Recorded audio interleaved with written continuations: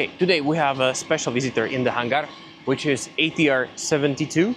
And there is one interesting feature about this airplane, because this airplane doesn't have APU, but instead it's using engine in uh, something what is called hotel mode. What does it mean? Uh, there is a free turbine which is going from the back all the way to the gearbox and on that gearbox you can find device which is somewhere up here. Uh, that device is called propeller brake or prop brake. Uh, the function is basically uh, self-explaining.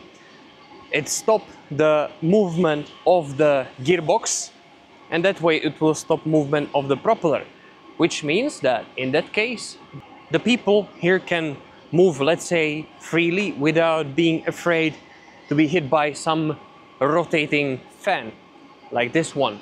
Um, it is uh, hydraulically operated and uh, yeah to to show you the full function we need to go into the cockpit. Okay I'm uh, in the cockpit of this little plane and as you can see there is not that much space but back to uh, device which we've been talking about. Prop brake. Uh, it's controlled up here by this switch. As you can see it's on. Uh, all what you need to do basically is just move switch from the on to off.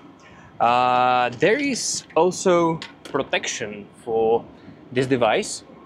It calls uh, gust lock. It's over here whenever you will bring this device all the way to on position it will reduce movement of the thrust levers. That way you will prevent damaging of the prop brake. Because of course uh, the prop brake is able to handle only certain amount of torque. So if you uh, if you don't activate the gust lock you can uh, use uh, more power and that means that you can even melt the proper brake which nobody wants of course. Uh, whenever you have a gust lock on it will also lock the steering column in position. And as I said before the uh, the prop brake is uh, operated hydraulically from the blue system and both hydraulic systems are run by electric pumps. The controls are up here and now they're gonna release prop brake you can hear the hydraulic pump.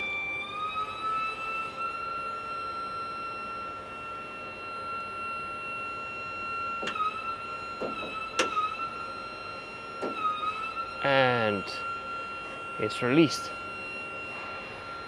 And now you can rotate the propeller freely. Easy as that even though you have a prop brake on the right engine there is not that many reasons why should you go on the right side of the airplane because the only uh, only access points on the, this side of the airplanes are refueling and refueling panel. And only reason why to go to the front section is actually electrical connections here in the front. You have a 115 volt AC plug and this is 28 volt DC plug. And of course they're using this uh, to start the engines the 28 volt DC because of course starter use uh, 28 volt DC and uh, after right access door which are most of the time used for cargo and this is the aft cargo. As you can see it's really spacious. Um, unfortunately on this airplane we don't have it because this whole plane is a cargo plane. But if we go on the other side there you will see all the important entries. On the left side of the airplane you can find main access points like this huge cargo doors which are on this freight version quite huge. Normally they are they are um, half of that size. And on this one you have additionally the extra door in the front. And then you have a passenger door here in the back. Yeah that's the main entry for the passengers. So as you can see there is no that much reasons to go on the right side of the airplane but if somebody will go there you are protected by prop brake Another important information regarding uh, propeller airplane is that whenever the airplanes are parked, the propeller need to be secured, especially like you see it here, against the fuselage. This way you prevent windmilling.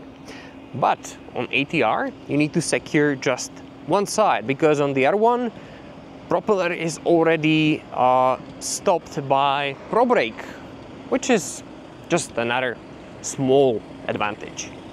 Okay, now let's take a look how it looks in the practice. As you can see, engine one is already off, so they had single engine taxi. And at the moment, they will set engine two in the hotel mode.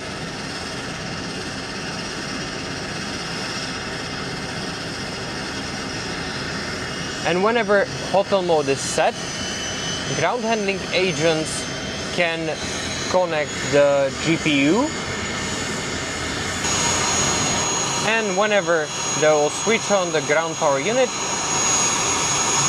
pilots can switch off the engine to save the fuel of course as I said before engine in hotel mode provides on the ground uh, electricity to run the airplane systems and of course uh, bleed air for air conditions but since you want to reduce usage of the engine on the ground to minimum, you can of course connect the airplane to the ground air condition system like you can see it now.